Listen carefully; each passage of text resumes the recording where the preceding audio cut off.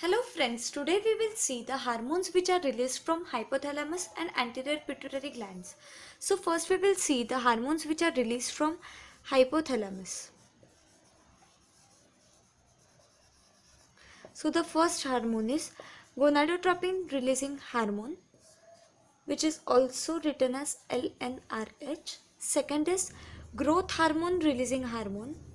Third is prolactin inhibiting hormone which is also known as dopamine. Fourth is prolactin releasing hormone. Fifth is corticotropin releasing hormone. Sixth is thyroid releasing hormone. So this all hormones are released from hypothalamus.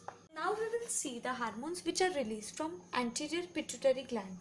The first hormone is growth hormone.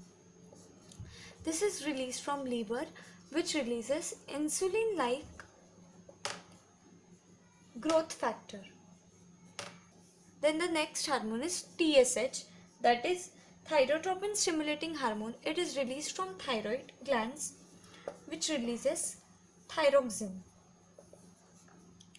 The next hormone is ACTH that is adenocorticotropic release adenocorticotropin hormone which is released from adrenal cortex.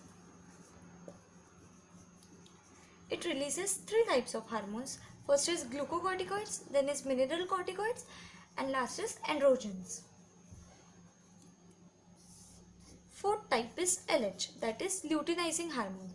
In females it is released from ovary and it releases progesterone, estrogen.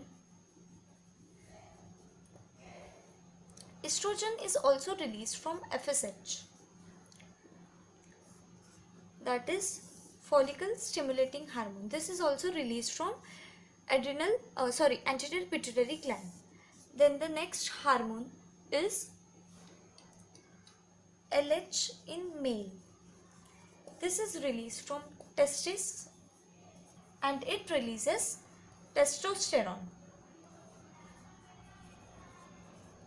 And the last hormone which is released from APG is prolactin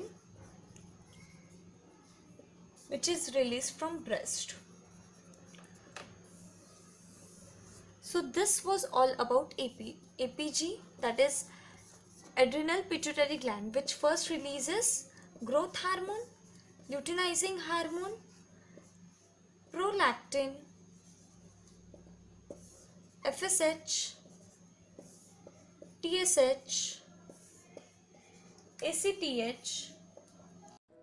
तो friends अगर आपको मेरी video पसंद आ रही हो then to like this video share with your friends and subscribe to my YouTube channel तो मिलते हैं अगली वीडियो में. Till then take care this is ट्रेनिक Jain peace out